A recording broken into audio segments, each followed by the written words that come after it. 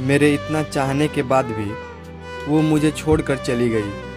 अपनी यादों के समंदर में मुझे डुबो गई।